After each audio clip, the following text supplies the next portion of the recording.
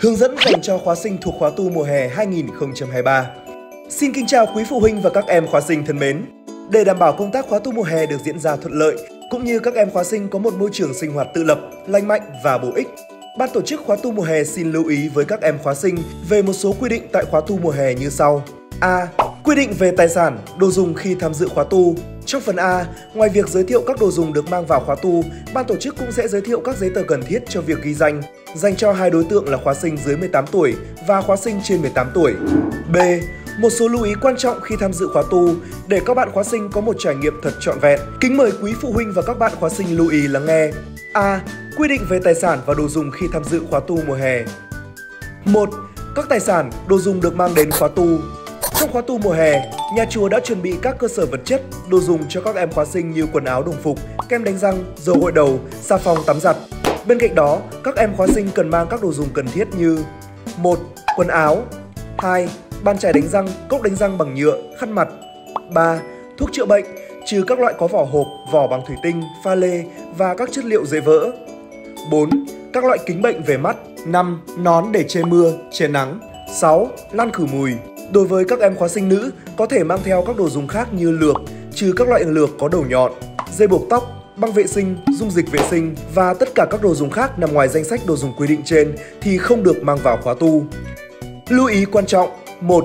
Đối với khóa sinh trên 18 tuổi, ban tổ chức chỉ nhận giữ tiền, điện thoại cho khóa sinh để thuận tiện việc đi lại và sẽ gửi lại vào ngày kết khóa, trả khóa sinh. Ngoài ra, ban tổ chức sẽ không nhận giữ bất cứ đồ dùng gì khác. 2. Đối với khóa sinh dưới 18 tuổi, ban tổ chức sẽ không nhận giữ đồ cho khóa sinh. Khi đến với khóa tu mùa hè, tại khu vực ghi danh tham gia, ban tổ chức sẽ kiểm tra hành trang của khóa sinh. Trường hợp 1, khóa sinh mang đúng đồ dùng nằm trong quy định của khóa tu, khóa sinh sẽ di chuyển đến khâu tiếp theo để ghi danh và tham gia khóa tu. Trường hợp 2, khóa sinh mang thừa đồ so với quy định của khóa tu. Nếu mong muốn tiếp tục tham gia khóa tu, khóa sinh cần xử lý các tài sản, đồ dùng đó trước khi vào giai đoạn ghi danh bằng các cách 1. Gửi đồ về đối với những tài sản, đồ dùng có giá trị, đồ vẫn sử dụng lâu dài. 2. Hủy đồ đối với những đồ ăn, đồ uống. Khóa sinh có thể chọn cách phù hợp để đảm bảo không mang các tài sản, đồ dùng nằm ngoài quy định vào khóa tu. Trường hợp 3, khóa sinh mang thừa đồ so với quy định của khóa tu nhưng không gửi đồ về và cũng không hủy đồ, ban tổ chức sẽ không tiếp nhận khóa sinh tham gia khóa tu.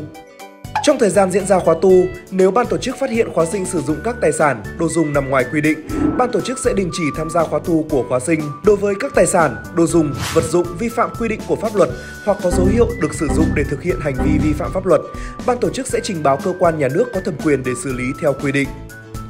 2. Giấy tờ cần thiết Trường hợp 1, khóa sinh dưới 18 tuổi thì cần chuẩn bị những loại giấy tờ như sau. 1 một bản cam kết thực hiện nội quy khóa tu mùa hè có chữ ký của khóa sinh, cần có chữ ký của phụ huynh hoặc người giám hộ. 2. Ba bản phiếu ghi danh đúng độ tuổi của khóa sinh. 3.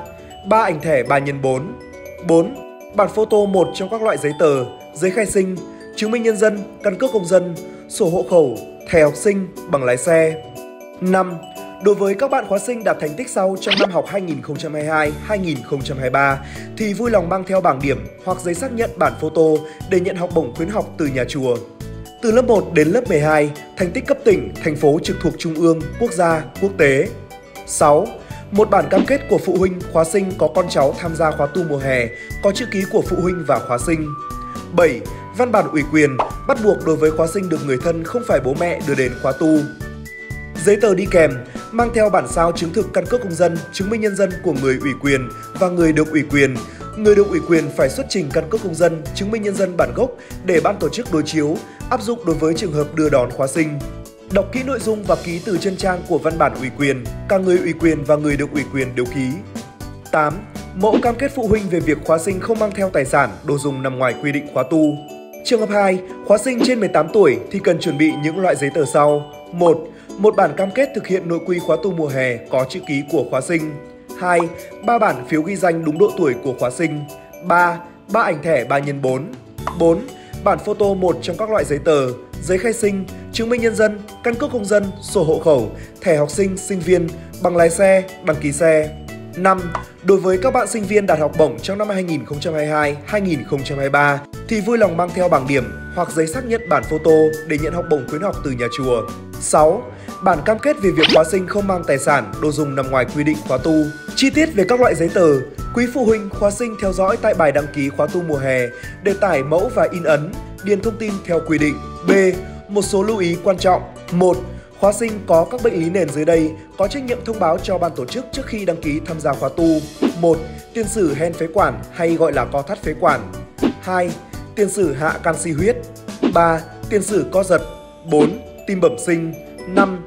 Trẻ đã từng mắc các bệnh về thận như viêm cầu thận cấp, thận hư, vân vân. 6. Có tiền sử đã dùng các thuốc thần kinh. 7. Đang mắc các bệnh lý khác, bắt buộc phải uống thuốc vào hàng ngày. 8. Tiền sử dị ứng, đặc biệt có tiền sử dị ứng thức ăn. 9. Tiền sử bệnh ngoài da. 10. Trên người có vết thương đang điều trị. 11. Các trường hợp bị khiếm khuyết hoặc suy giảm chức năng dưới dạng tật, vận động, nghe, nói, trí tuệ, vân vân. Trường hợp không thực hiện đúng quy định này, khóa sinh và gia đình tự chịu mọi trách nhiệm về an toàn của khóa sinh. 2. Không thực hiện các hành vi bị nghiêm cấm dưới đây. Nam nữ tuyệt đối không được ngồi riêng tâm sự, không được qua lại khu vực của nhau, không được có các hành vi đụng chạm, tiếp xúc cơ thể, không được dùng điện thoại di động, MP3, MP4, laptop, iPad và các thiết bị điện tử khác dưới mọi hình thức, xem, nghe, đọc và tuyên truyền các văn hóa phẩm đối trị. Không uống bia rượu, hút thuốc lá, thuốc lào, á phiện, xì ke, ma túy, các chất kích thích gây nghiện khác. Không tổ chức, tham gia đánh bạc, lô đề, cá cược hay bất kỳ hoạt động tệ nạn, hoạt động bị pháp luật nghiêm cấm khác không tổ chức, thực hiện, xúi dục người khác thực hiện các hành vi gây dối, khiêu khích, chửi bới, xúc phạm, đánh nhau hay có hành vi sát thương, gây tổn hại đến thân thể người khác dưới mọi hình thức. Không mang hung khí, những vật sắc nhọn có thể gây sát thương, gây nguy hiểm cho an toàn tính mạng của người khác trong suốt quá trình ghi danh tham gia khóa tu cho đến khi rời khóa tu. Không được tự ý ra khỏi phạm vi đã được quy định, không được tự ý rời khỏi chùa, tự ý gặp bố mẹ nếu không được phép bằng văn bản của ban tổ chức, trong trường hợp rời chùa trước khi kết thúc khóa tu, phải hoàn tất đầy đủ các thủ tục theo quy định của ban tổ chức. 3. Trước khi tham gia khóa tu, cần đọc kỹ các quy định của khóa tu. Nếu vi phạm các quy định cấm, ban tổ chức lập biên bản và cho khóa sinh dừng ngay khóa tu. Đối với các hành vi phạm pháp, khóa sinh tự chịu hoàn toàn mọi trách nhiệm trước cơ quan nhà nước có thẩm quyền theo quy định của pháp luật. Nếu vi phạm các quy định còn lại trong nội quy khóa tu mùa hè, thì ban tổ chức sẽ xử lý theo quy định của khóa tu. 4.